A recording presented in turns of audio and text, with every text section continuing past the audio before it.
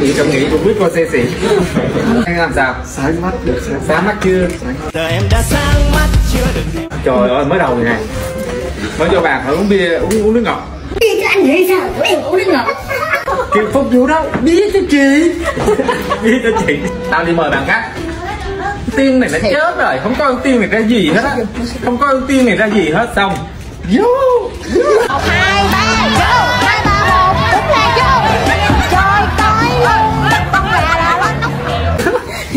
vô vô. Xong rồi chứ? À, em đi mời anh em xã đoàn đánh mất anh em xã đoàn không còn một ai quan tâm nhìn tới. Đi mời sếp cũ em à, em uống thế bồ em. Tao thấy đang ngồi kịp luống cuốn đi tìm cái tô tìm cái tô hứng. Cái tao thấy chè một tô đầy. Một tô đầy. Xong rồi tao đi nhậu vòng vòng nữa về thấy tiếp một tô nữa. Tao nói nó uống ghê thì nó khác lúc chỗ nào cũng có mặt tiên nha. Kiểu như là mình lén lén mà đi mời nhưng mà tiên vẫn xuất hiện. Tiên vẫn xuất hiện cô nhạc lên là tiên còn lên hơn nha mà thấy không có thằng bồ ốm chi rồi cuối cùng con bồ nó xịn cũng nhờ tới cái con già người đẹp lịch tiền này nữa. Dìu mày xuống. Lúc ta kêu dìu xuống rồi chứ. Em còn chơi được mà ở lại chơi đi chứ. Mà lúc ở đó tao dìu xuống vậy là ở dưới ai cũng thế nha ai cũng nhìn mà tao sợ tao biết tao biết cô thấy gia liêu mà ăn chơi vậy được. Rồi tao nói tao dìu đi rất là nhanh ra xe luôn á mà nó cứ ở lại chơi ở lại chơi ở lại chơi quá trời rồi mày đầu tiên là anh này làm việc là dở mà ăn nhậu tao nói không thể thiếu ai luôn. Tất cả ai cũng ùa ùa ùa vô cái bàn này. Lúc lúc trên xe về mà còn kêu là ủa đi tăng hai đó đi manh đi nhậu.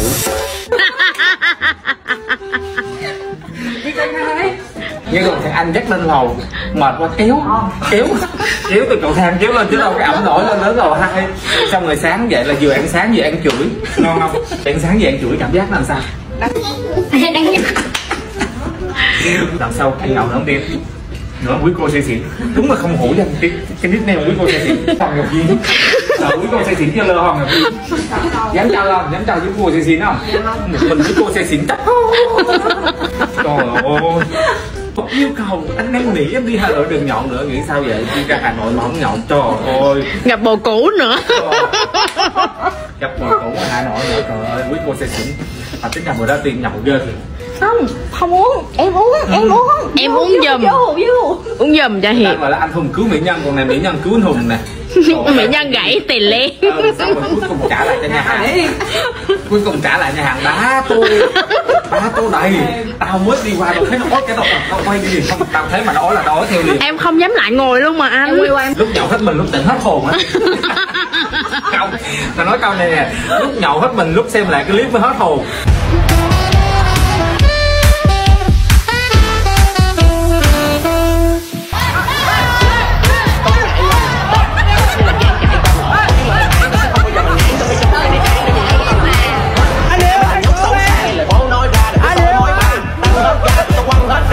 Em đổi vô rồi trời ơi cái quân què dĩ dây trời đất. Ôi ôi vậy là mày mắc mày mắc cái suất ăn sáng về sau? Với con gái bà mà không bảo vệ được con gái bà mà để cuối cùng nó vậy.